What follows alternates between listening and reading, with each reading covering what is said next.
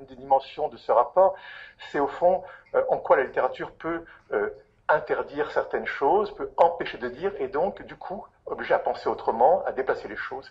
Et voilà, ça c'est un aspect qui m'intéresse beaucoup Alors, je, je, précise deux choses. Vous avez dit littérateur, ce n'était pas un lapsus, c'est le titre d'un écrit de Lacan, la littérature littérateur, on y reviendra sans doute. Hein, on en parlera parce que c'est un texte très important à mes yeux. Voilà, et on entendra un extrait euh, plus tard. Euh, vous parlez du rôle de l'écrivain pour Lacan. Je précise, parce que je ne l'ai pas encore fait, que vous êtes écrivain, Eric Marty, universitaire. Vous avez publié L'invasion du désert l'an dernier aux éditions Manussus. Euh, dirigé un ouvrage collectif sur Lacan et la littérature. Euh, en 2011, vous avez publié Pourquoi le XXe siècle a-t-il pris Sade au sérieux? Lacan est un lecteur de Sade, on y reviendra également. On a un programme. Il a une place centrale dans ce livre, Lacan, voilà. bien sûr. Mais euh, comment vous, en tant qu'écrivain, en tant que voilà, appartenant au milieu littéraire, êtes-vous venu à Lacan? Parce que Lacan n'est pas connu pour ses qualités littéraires, enfin peut-être que si. Euh, alors une question de génération. Simplement, j'ai été, je, suis venu à Lacan parce que ma génération, bon, je suis né en 55, donc voilà, quand euh, j'avais 20 ans, 75, 67, dans ces années-là où Lacan est vraiment au, sommet de sa notoriété. Et donc, euh, quand on est étudiant à cet âge-là, euh, à ce moment-là, on, passe par Lacan. Donc, il y a une sorte d'imprégnation générationnelle mmh. qui, d'ailleurs, me semble avoir disparu aujourd'hui. Je suis assez frappé de voir que les jeunes étudiants d'aujourd'hui, y compris en philosophie, ne lisent pas beaucoup Lacan, en tout cas que Lacan n'a plus du tout cette espèce d'aura et d'influence. Mais en tout cas, pour moi, ça a été essentiellement générationnel.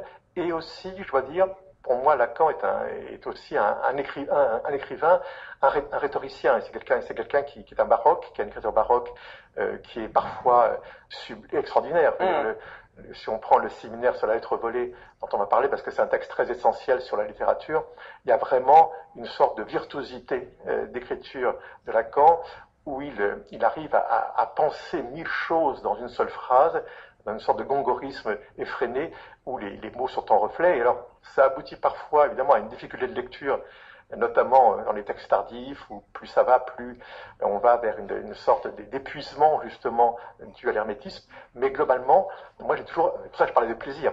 Globalement, je veux dire, j'ai quand même un grand plaisir à lire Lacan et euh, je pense qu'il faut lire Lacan pour le plaisir pour pouvoir justement entrer dedans.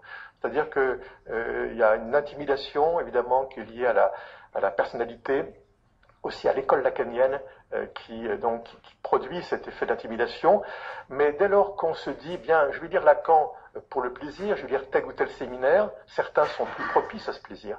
Mais si on prend par exemple un séminaire comme l'éthique la psychanalyse, qui est celui sur lequel j'ai beaucoup travaillé pour Sade, qui est le livre 7, euh, c'est un séminaire éblouissant, éblouissant de, présence, c'est-à-dire qu'il y a une présence de Lacan euh, dans son propos, à son propos.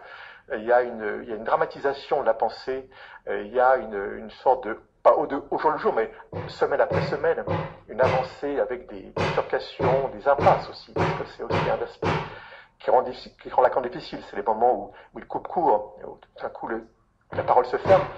Mais sinon, j'aime bien le lire aussi dans un rapport de plaisir. Parce que c'est quelqu'un qui a une écriture, qui a un style à l'évidence. Voici un extrait de la, de la lettre volée, justement, d'Edgar Allan Poe, qu'il commente dans son texte euh, Liturateur en 1971. Voici un extrait de ce texte, peut-être le connaissez-vous, euh, on l'étudie parfois, l'idée d'une lettre qui est apparente et qu'il s'agit de remplacer par une autre lettre, car cette lettre-ci ne doit pas être dévoilée. Cette substitution d'une lettre, alors épistolaire, hein, une lettre, pas de la lettre de l'alphabet à une autre, est lourde de sens pour Lacan. Écoutez le texte de Poe et puis ensuite le commentaire qu'en fait Lacan. Le procédé du vol a été aussi ingénieux que hardi. Le document en question, une lettre pour être franc, a été reçu par la personne volée pendant qu'elle était seule dans le boudoir royal. Pendant qu'elle le lisait, elle fut soudainement interrompue par l'entrée de l'illustre personnage à qui elle désirait particulièrement le cacher. Après avoir essayé en vain de le jeter rapidement dans un tiroir, elle fut obligée de le déposer tout ouvert sur une table. La lettre toutefois était retournée, la suscription en dessus, et le contenu étant ainsi caché, elle n'attira pas l'attention.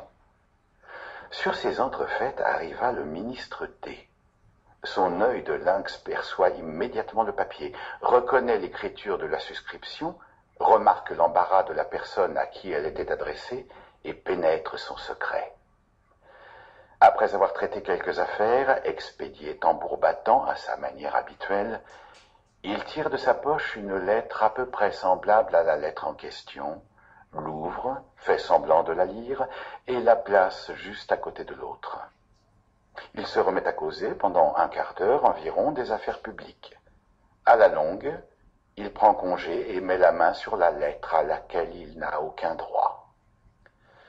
La personne volée le vit, mais naturellement n'osa pas attirer l'attention sur ce fait en présence du troisième personnage qui était à son côté. Le ministre décampa, laissant sur la table sa propre lettre, une lettre sans importance.